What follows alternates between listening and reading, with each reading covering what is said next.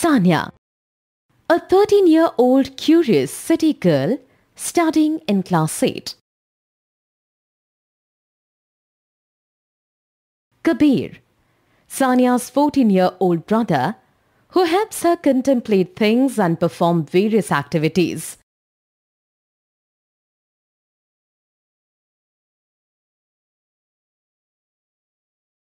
Mummy, Sanya's mother, who facilitates them in understanding different concepts.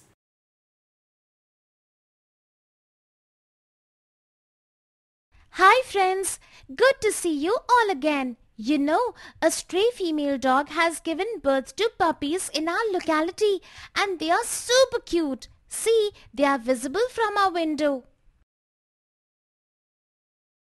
Mummy, look, these puppies are so cute.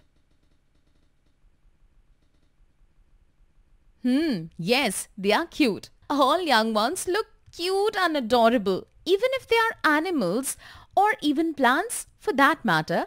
Yes, small saplings of plants look so lovely.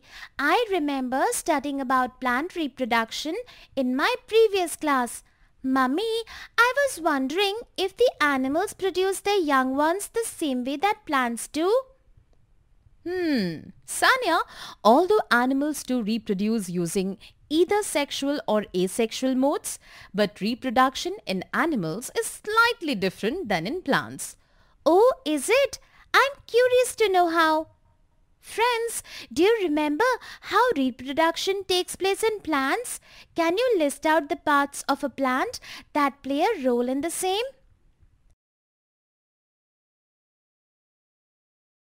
Mummy, I remember that plants have male and female parts that play a role in sexual reproduction. Do animals have male and female parts too that are useful in the process of reproduction? Yes, Sanya, they do. But unlike in plants, both male and female parts or organs are not present on the same animal. Some animals have male organs and are referred to as male animals, while others have female organs and are referred to as female animals. Like in humans, right? That's right. Friends, can you refer to the image and list out the male and female reproductive organs in humans?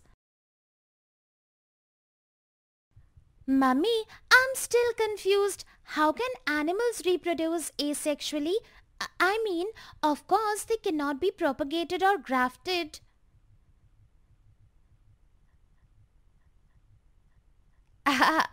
no, Sanya. Asexual reproduction can take place by other ways too, like cloning. Cloning? Yes, actually, asexual reproduction is a pretty cool way to clone one's own kind. Imagine how cool it would be if you were able to split apart on your own and form a clone of yourself. Hmm, I'm not too sure about that. How can animals clone themselves? Sanya, not all animals do that. However, a fragment of animals have the capability to reproduce asexually, like Hydra and amoeba. Yes, and the offspring or the young one is formed through budding or binary fission of the body and is exactly like the parent.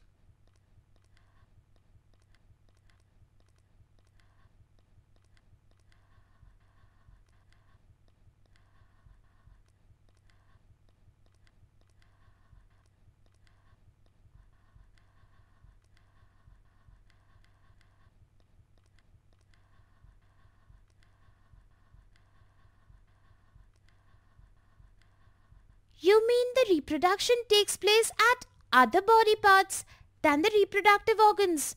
Yes, you got it right. But how?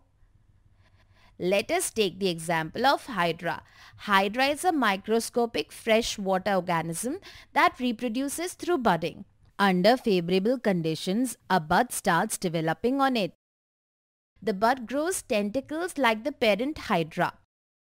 Eventually, the bud starts detaching from the parent organism Once the bud is completely detached from the parent body, a new independent and identical hydra is formed. Wow, this sounds amazing. So does amoeba clone to this way too? No, Sanya. Amoeba reproduces through binary fission.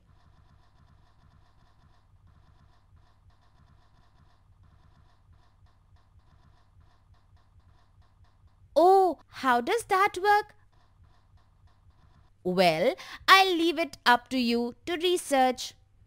Friends, can you research on this using your textbooks and let me know? You can refer to the page 107 and 108 of your textbook for the same. Once done, go to www.google.com and search for asexually reproducing animals. Look through the resultant websites and make a list of 10 such animals that reproduce asexually. Also, collect their pictures, share the findings and the collected pictures with your class. Let us summarize our learning. Two modes by which animals reproduce are sexual reproduction asexual reproduction. Male and female organs of animals are not present on the same animal. Some animals like hydra and amoeba have the capability to reproduce asexually. Offspring in asexual reproduction of animals is formed through budding, like in hydra, or through binary fission, like in amoeba. Reproduction takes place at body parts other than the reproductive organ.